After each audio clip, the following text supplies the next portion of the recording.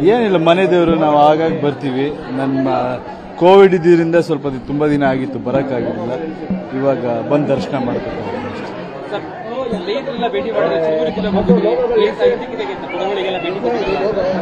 ಅದು ನಾವು ಚಿಕ್ಕದ್ರಿಂದನೂ ತಿಂತಾ ಇದ್ವಿ. ಮೈಸೂರಿಗೆ ಬಂದ ತಕ್ಷಣ ಅವನ್ನ ಕರೆಸಿದ್ವಿ ಅಲ್ಲಿ ಆಂಧ್ರ ಹೋಗ್ತಾ ತಿನ್ಕೊಂಡು ಹೋದ್ವಿ.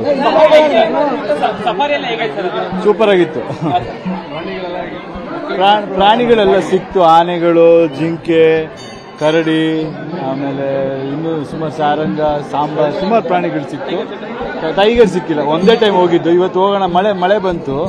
ಇನ್ನೊಂದ್ಸಲ ಬರೋಣ ಅನ್ಕೊಂಡು ಸಫಾರಿ ಮಕ್ಕಳಿಗೆ ಫಸ್ಟ್ ಇಲ್ಲ ಆ, ದುಬೈಯಲ್ಲಿ ಮಾಡಿದ್ರು ಬಟ್ ಈ ತರ ರಿಯಲ್ ಫಾರೆಸ್ಟ್ ಅಲ್ಲಿ ಫಸ್ಟ್ ಟೈಮ್ ಖುಷಿ ಆದ್ರು ಚೆನ್ನಾಗಿ ಮಕ್ಕಳು ಏನು ಎಕ್ಸಿಟ್ ಆಗ್ತಾರೆ ನೀನು.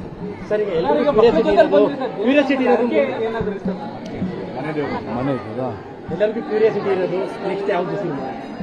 ಹೇಳ್ತೀನಿ, ಹಿಂಗೆ ಹೇಳಕ್ಕಾಗತ್ತಾ? ಒಂದಂತೂ ನಿಜ. ಜನ ನಮಗೇನ್ ಶಕ್ತಿ ಕೊಟ್ಟು ಬೆಳೆಸಿದ್ದಾರೆ ಅವರು ಏನ್ ಆಶೀರ್ವಾದ ಮಾಡಿ ಕಳಿಸಿದ್ದಾರೆ ನಾನು ನಂಬೋದೊಂದೇ ಎಲ್ಲರೂ ದುಡ್ಡು ಕೊಟ್ಟು ಸಿನಿಮಾ ನೋಡ್ತಾರೆ. ಆ ದುಡ್ಡಿಗೊಂದು ವ್ಯಾಲ್ಯೂ ಇರಬೇಕು. ನಾವು ಮಾಡೋ ಕೆಲಸದಲ್ಲಿ ಶ್ರದ್ಧೆ ಇರಬೇಕು. ಇಡೀ ದೇಶ ಅಥವಾ ಇಡೀ ಜಗತ್ತು ನೋಡ್ತಾ ಇದೆ. ಆ ಜವಾಬ್ದಾರಿ ನನಗಿದೆ. ದೇವ್ರ ಸನ್ನಿಧಾನ. ಸುಮ್ಮನೆ ನಾನು ತೇಲ್ಸೋದು ಬೇಡ ಅಂತ ಹೇಳ್ತಾ ಇದ್ದೀನಿ. ಆದಷ್ಟು ಬೇಗ ಬಹಳ ದಿನದಿಂದ ಕಷ್ಟಪಟ್ಟು ಕೆಲಸ ಮಾಡ್ತಿದ್ದೀವಿ. ಅವರೆಲ್ಲರೂ ಖುಷಿ ಪಡೋ ರೀತಿ ಕೆಲಸ ಆಗುತ್ತೆ. ನಾನು ಹೇಳಿದ್ನಲ್ಲ ನಮ್ಮ ಜವಾಬ್ದಾರಿ ಇದೆ. ಜನ ಫ್ರೀ ನೋಡಂಗಿದ್ರೆ ನಾನು ಇಷ್ಟ ಬಂದಂಗೆ ಮಾಡ್ಬೋದು. ಅವರೇ ಬೆಳೆಸಿರೋದು.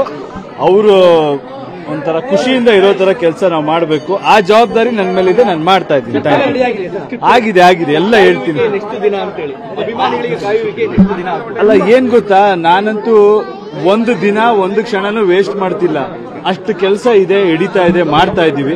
ಆದಷ್ಟು ಬೇಗ ಬರ್ತೀವಿ ಬೇಗ. ನಾನಂತೂ ಒಂದು ಕ್ಷಣನೂ ವೇಸ್ಟ್ ಮಾಡ್ತಿಲ್ಲ. ಅದಂತೂ ಗ್ಯಾರಂಟಿ ಸುದ್ದಿ ನಾನೆಲ್ಲೂ ಹೋಗಿಲ್ಲ. ಎಲ್ಲರೂ ನಾನು ಇರೋ ಕಡೆ ಕರ್ಸ್ಕೊಂಡಿದ್ದೀನಿ ತಲೆ ಕೆಡಿಸ್ಕೊಬಿಡಿ ಹೋಗಿ.